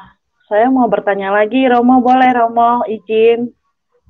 Boleh silahkan. Ya, kan kita tahu sekarang ini ini agak sedikit melenceng yang dari abnormalnya ya Romo ya. Kan ada tuh yang kita tahu, kita lihat di sekarang di media itu bahwa ada pasangannya LGBT itu ya Romo, kan dan dia dapat pemberkatan sakramen pernikahan. Itu bagaimana itu Romo? Kan kita tahu itu Oh. kan abnormal Romo. Mohon maaf Romo, tolong di pencerahannya. Terima kasih Romo. Iya, tadi sudah di, ada yang bertanya mengenai itu. Dalam hukum kanonik, dalam hukum gereja Katolik, itu dirumuskan bahwa perkawinan itu antara seorang pria dan seorang wanita. Oleh karena itu, maka perkawinan sejenis itu tidak mungkin dilaksanakan di dalam gereja Katolik. Kalau ada seorang imam memberkati perkawinan sejenis itu pasti tidak sah. Tidak mungkin karena menurut hukum kanonik tidak mungkin karena harus seorang pria dan seorang wanita. Saya kira itu yang menjadi alasan pokok. Si Paus tidak pernah tidak pernah eh, menyetujui itu. Tetapi juga di lain pihak, kalau kita menjumpai teman, mempunyai teman yang mempunyai penyimpangan dalam hal orientasi seksual, itu tidak berarti bahwa dia itu menjadi sampah yang harus disingkirkan loh. Tetapi di tetap dirangkul, tetap menjadi bagian dari kita. Hanya kalau mau menikah dengan sejenis yang tidak boleh, tidak bisa, tidak dimungkinkan. Karena itu tidak ada ketentuannya dalam hukum. Itu. Iya, terima kasih Romo. Mohon maaf tadi saya nggak mengikuti dari awal kalau ada ada pertanyaan hmm, seperti ya. tadi. Boleh lagi bertanya Romo? Saya ini ya, kan karena gini Romo, saya kan tadinya dari Kristen Protestan Romo. Ketika saya sudah menikah, maka saya ikut jadi Katolik dan saya memang sudah disahkan di Katolik juga Romo dan saya sudah menerima sakramen serta bisa mengikuti Ekaristi. Nah, jadi yang kan waktu itu kan bapak saya bertanya gitu Romo kan, mengatakan kenapa kami nggak ikut gitu. Mungkin mengira bapak saya itu ketika mendapat roti hosti itu dikira seperti perayaan uh, perjamuan kudus gitu Romo. Jadi kan saya waktu itu kan masih belum terlalu bisa gamblang untuk menjawab spesifiknya. Nah, itu bagaimana cara pencerahannya Romo? Terima kasih Romo. Iya, ini kan temanya menjadi ke mana-mana. Uh, maksudnya gini Romo, ya waktu agak fokus ya mohon maaf. Uh -uh.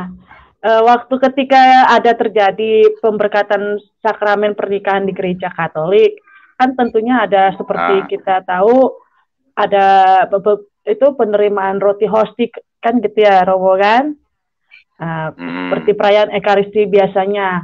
Jadi bapak saya bertanya gitu, kenapa ya gereja Katolik uh, kita yang Protestan tidak ikut boleh maju untuk menerima itu tadi roti hosti gitu.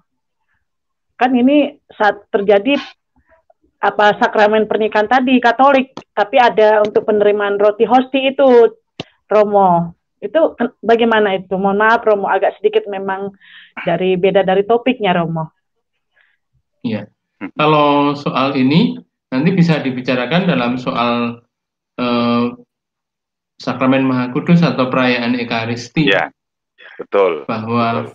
ya lain ini topik nanti, itu Romo. Kaitannya ya. nanti temanya menjadi beda. Ya, blunder ya. Nanti biar Siap, dijawab oleh Om aja Ciput ya.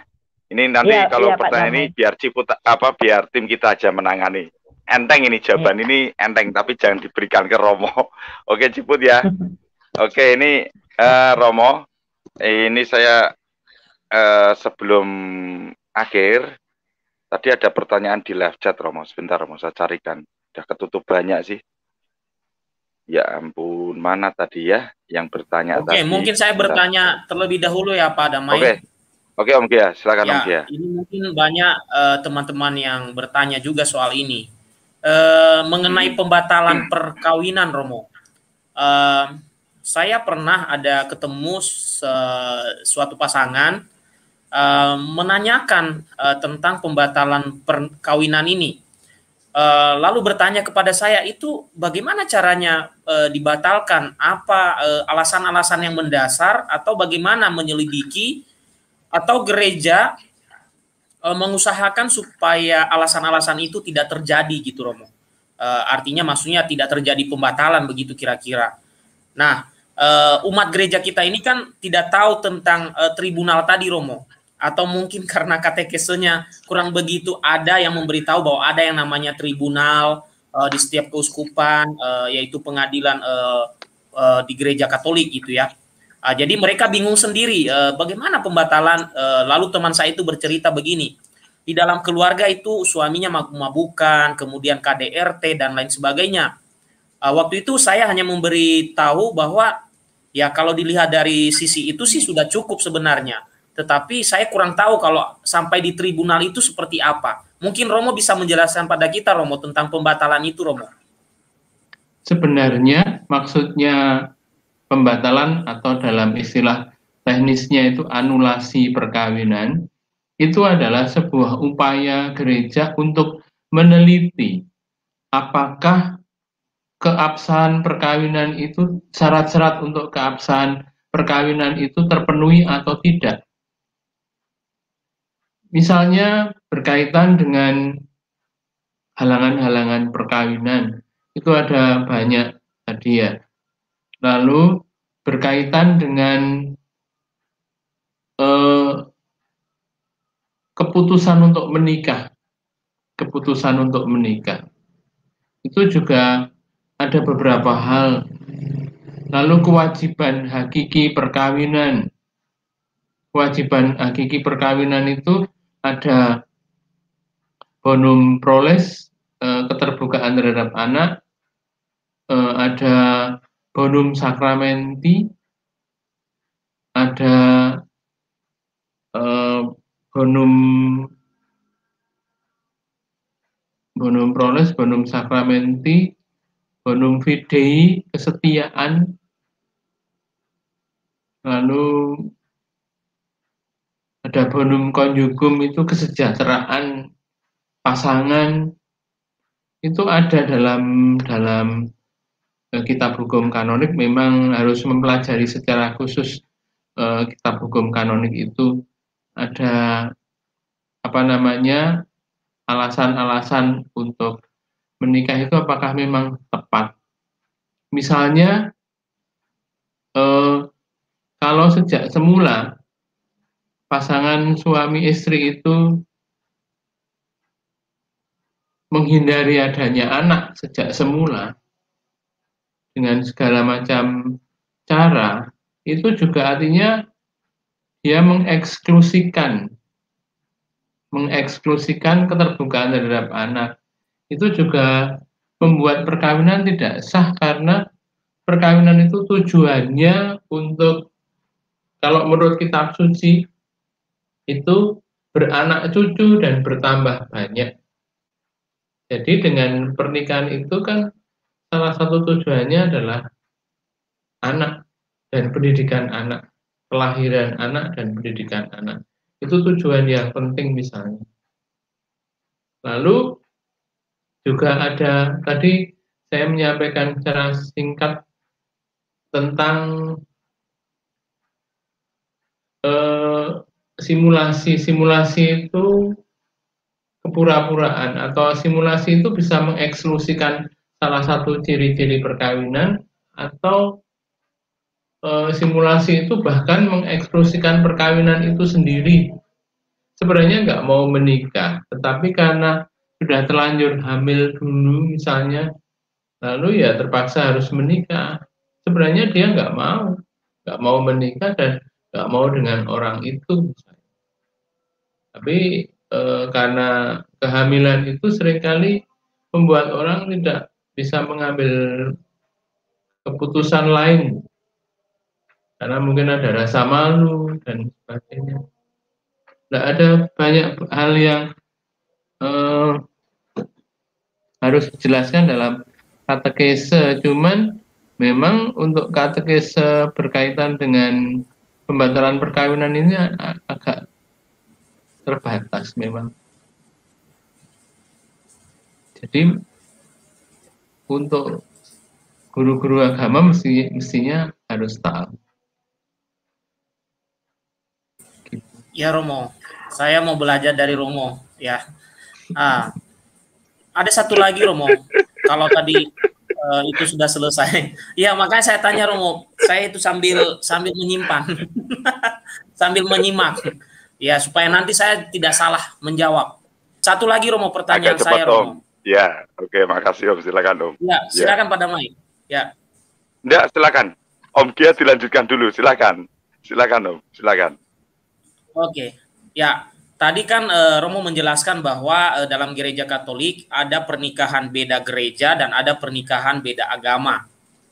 Nah, di di sisi lain uh, meskipun Katolik memberi memberikan dispensi, dispensasi atau uh, izin untuk menikahkan beda gereja dan beda agama, ada kan tanggung jawab tanggung jawab pihak Katolik di sana, Romo. Nah, kira-kira tanggung jawab apa yang uh, harus benar-benar dijaga, Romo, oleh pihak Katolik, meskipun gereja memberi dispensasi, memberikan izin dan lain sebagainya. Itu saja, Romo, pertanyaan saya, Romo. Yang paling utama bahwa dia tetap harus bertahan di dalam imannya dan mengusahakan untuk untuk pembinaan dan pertumbuhan imannya. Yang kedua, soal pendidikan anak. Dia harus berusaha sekuat tenaga untuk mendidik anak secara katolik. E, kewajiban itu yang perlu, yang harus diupayakan dan dikembangkan di dalam perkawinan campur.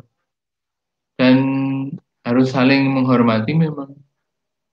Itu yang paling pokok adalah kesetiaan pada iman dan upaya sekuat tenaga untuk mendidik anak secara katolik. Itu mas.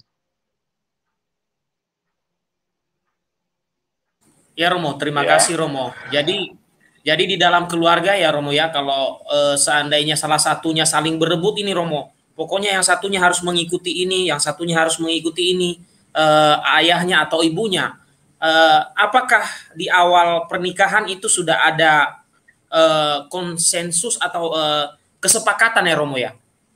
Anak itu harus dididik secara Katolik atau bagaimana Romo? Harus harus ada kesepakatan itu karena kalau enggak artinya mereka tidak siap untuk menikah. Harus ada. Jadi ketika masuk dalam lembaga perkawinan jangan ada perkara-perkara seperti itu lagi karena kalau iya artinya mereka tidak siap untuk menikah. Harus diselesaikan banyak hal. Banyak hal yang ber, berselesai. Jadi dalam mengatasi perbedaan itu jangan posisi menang kalah tapi bagaimana kita cari solusi yang yang ya. baik untuk semua. Ya. Lalu perbedaan itu bisa diselesaikan. Kalau itu belum diselesaikan ya jangan dulu masuk dalam e, lembaga perkawinan nanti akan menjadi masalahnya berkembang dan tidak mudah. Ya. Oke, ya. Oke Romo, terima Gantian kasih ya, jawabannya Romo sangat mencerahkan Romo. Terima kasih. Saya serahkan Mantap. kepada Mai. Silakan pada Mai. Makasih Om Gia, bergantian juga Om. Ini ada pertanyaan Om, Om Gia dari live chat, saya bacakan buat Romo. Dari Saudara Sioril, izin bertanya jika boleh. Dulu saya menikah beda agama secara Katolik, tapi sekarang istri sudah dibaptis dan jadi Katolik. Bagaimana prosedur untuk mendapatkan sakramen perkawinan? Terima kasih. Silakan Romo Sutras. Itu pertanyaannya oh, Romo. Ketika istri kemudian diterima atau sudah dibaptis secara Katolik, dengan sendirinya perkawinan itu menjadi sakramen. Karena dulu kan Meskipun, menikah secara gereja. Oh, sebentar Romo, izin bertanya jika boleh. Dulu saya menikah beda agama Romo. Beliaunya secara menikah beda agama secara Katolik. Oh ya ya ya ya. Yeah. Om Sio berarti secara tidak langsung jenengan sudah menerima sakramen perkawinan. Itu sudah dijelaskan ketika oleh Romo Sutra istri, secara ketika istri sudah dibaptis dengan sendirinya perkawinan itu menjadi sakramen. Oh, nje, siap. Hmm. Ya, Jadi, Om Sio, terima kasih. Nggih, Romo. Jadi tidak usah melakukan sakramen perkawinan lagi, Om. Karena istri Anda sudah dibaptis ini kayak saya Om, Om Sio kayak saya dan juga Ibu Bapak dan rekan-rekan yang saya cintai. Istri saya yang membatis adalah Romo Sutra sendiri, makanya saya hubungan saya dengan Romo Sutra sangat dekat karena beliau yang membaptis istri saya. Gitu rekan-rekan dan Ibu Bapak. Oke. Ini uh, mungkin closing statement ya Om. Om Gia. Om Gia. Ya. Iya, oke. Okay. Okay. Ya, closing statement Silakan, ya, uh, karena kita ya. sudah mau berakhir. Mungkin Romo juga nanti ada kegiatan. Saya tahu pasti Romo ya. sibuk. Ya, ya ada kegiatan lain juga. Ya, oke. Terima kasih banyak Romo sudah memberi kita katekese di uh, channel ini Romo. ini channel kami dari awam-awam Katolik ini sangat merindukan eh, dengan adanya katekese-katekese dari Romo tentang perkawinan, tentang eh, banyak hal. Eh, kami sangat merindukan dan hari ini malam hari ini terlaksana sudah dua kali kami meminta Romo untuk meminta uh, memberi katekese dan uh, cukup memberi pencerahan bagi kami yang awam ini yang jangankan tadi ngom uh, uh, apa Romo mengatakan kitab hukum kanonik. Bisa jadi kami juga nggak tahu itu Romo. Uh, ke, atau katekismus gereja Katolik. Bisa jadi kami juga nggak pernah melihat wujudnya ya. Uh, bisa jadi ada saudara-saudara atau anak-anak muda Katolik orang muda Katolik yang tidak tahu dan dengan adanya seperti ini, uh, puji Tuhan ini adalah suatu terobosan baru. Semoga tak jemu-jemunya Romo jika ada waktu memberi kita kata-kata seperti ini. Demikian uh, Pak Damai uh, closing statement dari saya. Oke, ya terima kasih Om Gia. Uh, untuk closing statement saya berupa pertanyaan buat Romo. Ratum et consumatum jika di tengah perkawinan ada suatu hal sehingga kebahagiaan justru tidak diupayakan karena kesengajaan salah satu pihak, bagaimana solusinya Romo? Silakan Romo Sutras, mohon izin. Ini closing saya Romo berupa pertanyaan Romo. Maaf Mas, diulangi lagi Mas. Oh, nje, siap Romo, nje. Ratum konsumatum. Jika di tengah perkawinan ada satu hal sehingga kebahagiaan justru tidak diupayakan karena kesengajaan salah satu pihak. Bagaimana solusinya? Romo, monggo Romo, silakan Romo. Uh, persoalannya adalah bahwa konsumatum itu merupakan ungkapan persetuju apa penyerahan diri secara utuh penuh total. Dan itu adalah puncak dari penyerahan satu sama lain. Jadi eh, ada kontra kontradiksi kalau dalam perkawinan yang ratum dan konsumatum itu tidak ada kebahagiaan itu sebenarnya ada kontradiksi harus diupayakan agar kebahagiaan itu sungguh-sungguh dialami dan um, satu sama lain saling memberi, saling menerima karena merupakan sebuah pilihan nih. Sebuah pilihan dalam kehidupan maka bahwa perkawinan itu tidak hanya terdiri dari hal-hal yang ideal ya bisa jadi tapi tidak tidak jangan gampang menyerah pada halangan-halangan pada hambatan-hambatan pada kesulitan-kesulitan dalam hidup berkeluarga. Tetap diupayakan karena kalau kita gampang menyerah dengan keadaan, maka ya akan belum tentu bisa belum tentu eh, meninggalkan perkawinan itu merupakan solusi yang terbaik. Belum tentu. Pikir saya seperti itu. Ya. Ya, terima Memang kasih Romo. terus sampai batas daya kemampuan. Betul banget Romo, sampai sampai nyawa pecah ya Romo ya, sampai apa? Hanya maut yang memisahkan Romo ya. Eh, Romo ya. minta closing statement sekalian nanti minta berkat doa berkat doanya ya Romo. Minta doa berkat dari Romo untuk rekan-rekan yang di live chat supaya rumah tangga dari ibu bapak dan rekan-rekan di live chat kepenuhan berkat dari Tuhan melalui Romo Sutras. Silakan Romo. Ya, um, kalau kita pergi ke warung, setelah membeli makanan, kita bisa melakukan apa-apa saja tentang makanan yang sudah kita beli itu. Kita mungkin bisa membuangnya kalau kita ternyata tidak sesuai makanan itu tidak selera dengan kita. Tetapi dalam hidup perkawinan nggak bisa, tidak bisa seperti itu. Kita tidak bisa membuang begitu saja pengalaman-pengalaman pahit, kesulitan, tantangan hidup uh, yang harus kita selesaikan tidak bisa.